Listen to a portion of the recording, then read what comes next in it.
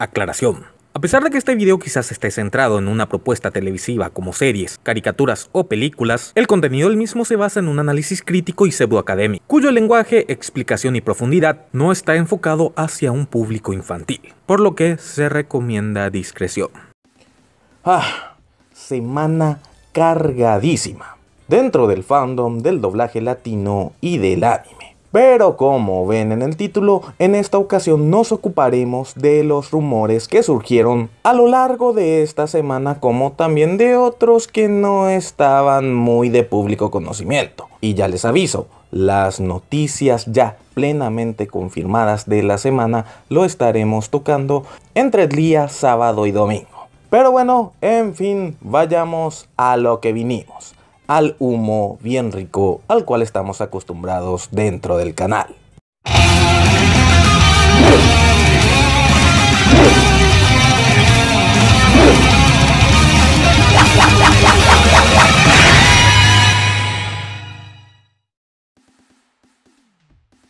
Si no estoy equivocado, este sería la tercera o la cuarta vez que hacemos este tipo de videos hablando de rumores de doblaje de anime. Por lo que creo que saben por dónde va la cosa. No obstante, siempre vale la pena aclarar lo siguiente. Lo que vamos a mencionar en este video no hay confirmación en lo absoluto y hay que tomarlo solamente como una posibilidad. Y esto que quede bien en claro para evitar que usen este video en grupos de Facebook o en cuentas de Twitter asegurando que el cuervo afirmó que A o B cosa iba a ocurrir. Puede que ocurra o puede que no. Solamente voy a contar lo que sé ahora mismo del tema y aclarar si es factible o no que esto ocurra. Así también cabe aclarar que no mencionaremos nombres de actores ni directores de doblajes involucrados o que estén tirando pistas al respecto para no comprometerlos, a excepción de una actriz que se manifestó con respecto a esto, pero que no confirmó nada en lo absoluto. Como siempre digo, tienen que saber que hay cosas que no podemos decir, ni tampoco mencionar las pistas de aquellos actores y directores que tienen la amabilidad de compartir dichas pistas a través de sus redes sociales. Hay que entender eso. Lo primero, por sobre todo, es no comprometer el trabajo de ninguna persona. Y segundo y último, que Revin Videos no se hace cargo de las opiniones en la caja de comentarios ni tampoco de las menciones de actores y directores de doblajes de otros usuarios.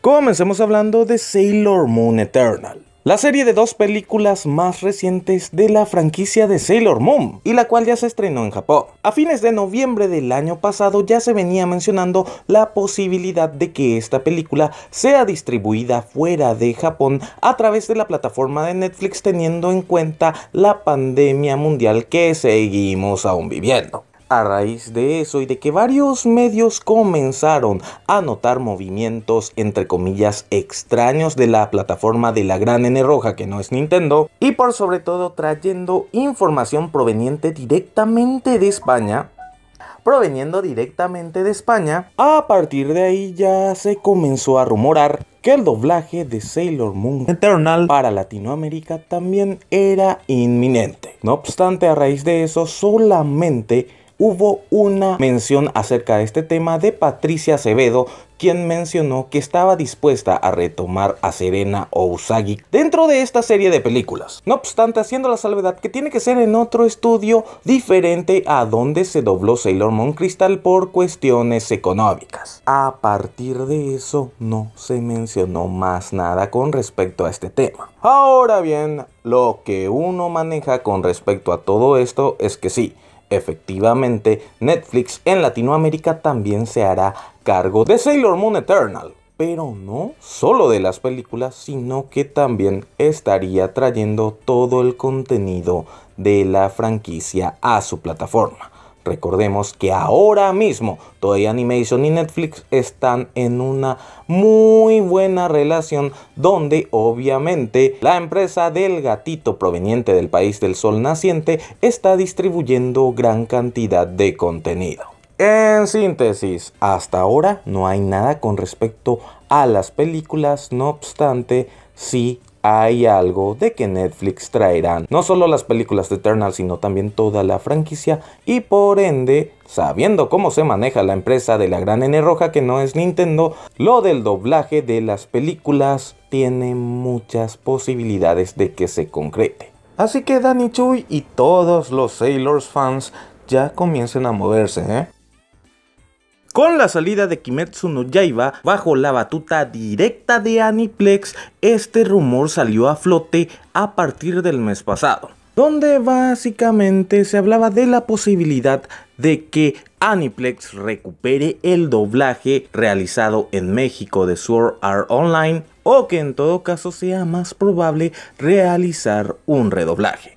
El caso del doblaje de Sao es algo complejo, ya que en su momento la empresa Otaku Latam, perteneciente a Genko, se encargó del doblaje latino de la serie en México y del cual solamente se emitió su primera temporada en Canal 5 de ese país, quedando en público conocimiento que la temporada 2 también se grabó, pero que esta por razones desconocidas nunca salió a la luz. Una vez que Otaku Latam desapareció, técnicamente ese doblaje quedó perdido, ya que el mismo no fue realizado por Aniplex propietaria de la distribución de la serie. De hecho, si se dan cuenta, todas las plataformas donde hoy en día está disponible las series de SAO no cuentan con doblaje y están en su idioma original con subtítulos. Pues tal cual como lo hemos mencionado, al desaparecer la empresa como tal, ya dicho doblaje legalmente está perdido. Y si bien de un lado me dicen que dicho doblaje está disponible para quien lo quiera adquirir, por el otro me dicen que hay huecos legales que impedirían que dicho doblaje tenga una propietaria actualmente. Lo que más me cuadra en todo esto es que sí, efectivamente si Aniplex quiere traer Sword Art Online a Latinoamérica tendrá que hacerlo con un redoblaje y el cual hasta la fecha de publicación de este video no existe. Esto realmente creo que es más cuestión de los fans que otra cosa.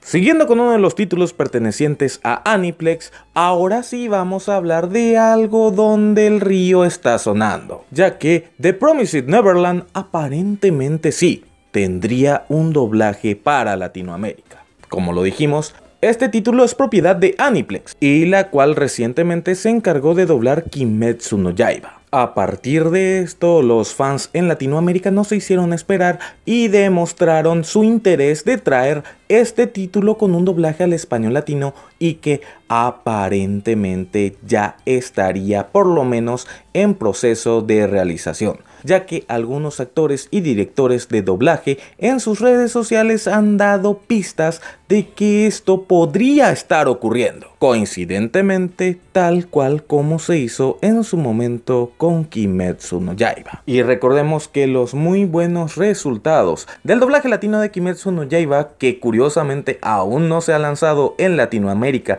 de manera oficial, aparentemente han hecho que Aniplex apunte a traer más contenido con doblaje latino. Y si tenemos en cuenta que Kimetsu no Yaiba es un fenómeno a nivel global y mundial y que sin duda algunas es el caballito de batalla principal de Aniplex, tenemos que mencionar también que The Promised Neverland está más o menos por ese camino y hoy en día es uno de los títulos más importantes dentro del fandom. Y ya mencionado eso, sumando aparentes pistas que se andan soltando por redes sociales, el doblaje de The Promised Neverland tiene muchísimas posibilidades que corren. Este título del cual comenzaremos a hablar a continuación realmente no es uno muy popular, inclusive es algo desconocido por así decirlo, pero que sí aparentemente estaría llegando a nuestro continente doblado a nuestro idioma. Titulado originalmente como Mao Diu Yasumi o también conocido como Sleepy Princess in the Demon Castle, es un anime de fantasía, aventura y comedia el cual cuenta con 12 capítulos emitido a finales del año pasado. Dicho anime está licenciado en Funimation en los Estados Unidos, por lo que podríamos especular que por ahí viene la cosa, que sería la empresa moradita la que estaría trayendo este anime con doblaje al español latino. En cuanto al doblaje per se, lo único que puedo decir es que hay indicios que dicho doblaje se estaría realizando en un estudio relativamente nuevo. Muy, pero muy nuevo. Y aunque la licencia pertenezca a Funimation, quizás puede ser que el doblaje de este anime esté cayendo en otra plataforma de streaming que también es muy, pero muy nuevita. En lo personal, en lo particular, creo que es muy pero muy probable que tengamos al anime de la princesa durmiente en el castillo endemoniado doblado a nuestro idioma. Pero bueno, pasemos a hablar ahora de los pesos pesados, de aquellos títulos que seguramente hicieron que entren a este video y de los cuales ya se han hablado muchísimo en redes sociales como también ya posiblemente dentro de YouTube. No obstante, modestia aparte, acá le traemos información veraz y de primera mano. Como ya seguramente sabrán, los nuevos episodios doblados de One Piece tendrían que haber salido el 12 de febrero pasado. No obstante, por problemas técnicos con la versión brasileña que afectó al servidor de Latinoamérica hicieron que este se pospusiera por un mes más. Específicamente, las sagas de Alabasta, de Chopper en la isla del invierno y de la Gran Ruta Marítima. Pues bueno, no es un secreto que el redoblaje latino de One Piece es todo un éxito en el continente. De hecho, que se haya pospuesto el estreno de estos nuevos episodios causó un gran revuelo y tenemos que recordar que la primera temporada estuvo muchas semanas dentro de los 10 más vistos de la plataforma de la gran N roja que no es Nintendo. Toei Animation está maravillado con esta recepción, por lo que obviamente Netflix no va a ser la única que va a comprar dicho título. Y ya mirando al futuro, obviamente por el éxito dentro de la plataforma y tratando de venderlo a otros a otros medios más, el doblaje de One Piece sigue su camino. Se está doblando nuevos episodios aparte de aquellos que faltan aún por estrenarse el 12 de marzo en Netflix. La neta no sé si van a poder abarcar el ancho para estar a la par de la transmisión original en Japón, pero sí mis queridos amigos, hay One Piece con doblaje latino para rato. A falta del estreno de tres arcos más de esta franquicia, se sigue doblando la serie. Y más que rumores, esto es algo extraoficial. Ah, Naruto Shippuden. ¿Cuántos años ya venimos hablando de esto? ¿Cuántos usuarios de YouTube ya hemos hecho videos anteriormente hablando de este tema? Unos cuantos sí, exagerando diciendo que el doblaje ya estaba confirmado hace más de cuatro años para posteriormente luego caer en la decepción total incluyendo a este servidor, pero con la salvedad que siempre en esos momentos habíamos mencionado que estaba difícil la cosa que en esos tiempos específicamente era muy improbable que ocurriera. Los años han pasado y sí, este año 2021 aparentemente sí es el año. Amigos míos, el doblaje de las tres películas de Naruto Shippuden ya es un hecho. Eso es una realidad en base a una filtración en vivo y en directo de cierta persona muy importante dentro de la franquicia en Latinoamérica que llamaremos señor L fulanito y que también se encargó de bajar muchos videos de la plataforma incluyendo uno de este servidor dan veracidad de que sí, el doblaje de las películas es un hecho. Estos estarían llegando a la plataforma de la gran N roja que no es Nintendo. No obstante, en esta semana salieron muchas cositas a la luz, tanto de aquellos que ocurrieron recientemente como también ya cositas que sabíamos hace varios meses. En lo personal recomiendo que vean el video a cargo del amigo Michael de Annie Dublatán, donde relata mucho más detalladamente todas estas pruebas que estarían confirmando el doblaje latino ya no solo de las películas, sino también de la serie, de los capítulos restantes y de lo cual ya venimos hablando desde finales del año pasado. Pues bueno, aparte de la investigación a cargo de Michael de Anidub, que insisto, les recomiendo que vayan a verlo, tiene mi apadrinato total este muchacho, ya que confirmo que varias de sus pruebas son reales y que además de todo lo expuesto en ese video también, según me llegaron a contar, sí, aparentemente ya llevamos como 3 o 4 semanas que se está doblando lo que resta de la serie. Es casi un hecho que este, por fin, será el año. Y la bomba de la semana, sin duda algunas, el hashtag Abril que estaba atormentando a varios usuarios en redes sociales y del cual modestia aparte también ya tenía conocimiento explotó el día viernes. Y es a partir de aquí que comienza mi honestidad con todos ustedes. Obviamente de esto yo ya tenía conocimiento. Otros colegas también tenían conocimiento del mismo caso. No obstante, no podíamos hablar porque la cosa aún no se confirmaba, porque la cosa iba pasito por pasito y porque verídicamente solo era una posibilidad, y lo cual ciertamente hasta la fecha de publicación de este video sigue quedando ahí pero con indicios más fuertes de que realmente puede ocurrir. A finales del año pasado nos llegó la información de que se buscaría redoblar la serie de My Hero Academia, pero ya en esta ocasión con un elenco plenamente mexicano. Lo que les puedo confirmar es que una empresa X, sí, efectivamente se acercó a Funimation para intentar tener la licencia de transmisión en televisión de My Hero Academia, pero con un doblaje a cargo de esta empresa que en principio me comentaron que sí sería con el elenco de las películas. Dicha negociación no corrió, pero fue fructífera para que Funimation se diera cuenta que el doblaje realizado en Miami no estaba teniendo buena aceptación. A esto sí le sumamos que a finales del año pasado hubo un falso directo donde entrevistaron al elenco de Attack on Titan como también al elenco de My Hero Academia en el canal principal de Funimation Estados Unidos, el mero mero, el Funimation gringo, y que técnicamente recién ahí Estados Unidos se dio cuenta de la recepción por parte de los fans. Y sumándole a eso que aparentemente, y esto no me consta, solamente puedo decir, aparentemente Funimation quiso colocar este título de anime en alguna que otra televisora y lo cual no se concretó, hizo que supuestamente se produzca la decisión de buscar un elenco netamente mexicano. Insisto en esto, las negociaciones existieron, pero aparentemente cayó, no obstante se abrió un camino, sumado a los títulos de Funimation más recientes que se están doblando en México, produjo que sí, aparentemente Funimation esté buscando que My Hero Academia esté con doblaje mexicano. No obstante, por diversos motivos que hoy no puedo comentar, la posibilidad de un redoblaje fue mezquinado.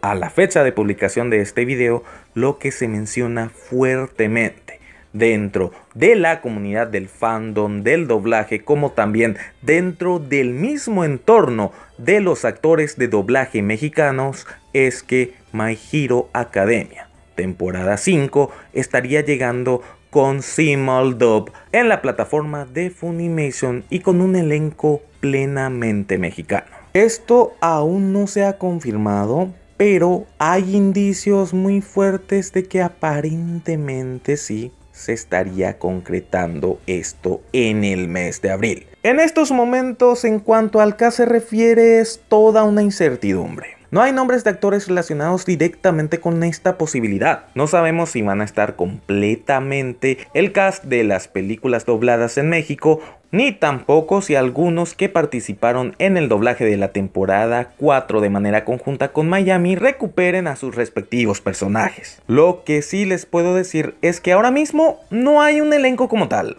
no hay un cast definido. Es ahí donde los fans de My Hero Academia que quieren tener al elenco original de las películas deben organizarse. En este momento específicamente las redes sociales son el arma más importante que tienen al alcance de sus manos. Si quieren tener al elenco de las películas, lo indispensable es hacerle llegar a Funimation directamente dicha petición para que ellos estén al tanto del cast que estuvo presente en las películas y ya sea de una u otra manera Funimation o inclusive el director o directora que esté a cargo de este proyecto en el hipotético caso que haya aterrizado en México. Obviamente, por lo menos los tengan en consideración para retomar sus respectivos papeles. Compartan las imágenes de los actores, utilicen hashtags específicos, arrobando directamente a Funimation MX, pero por sobre todo de manera organizada y respetuosa. Así que, Animal Channel y compañía ya saben qué hacer. Raven, el cuervo lo que les puede confirmar es que sí, existieron y existen negociaciones para que los héroes lleguen a México. De ahí a que se concrete es otra cuestión. No hay nada confirmado, no sabemos qué puede ocurrir y tenemos que dejar un margen de error por si por A o B motivo esto no llega a concretarse. My Hero Academia Season 5 es muy, pero muy probable que se cambie de Miami a México.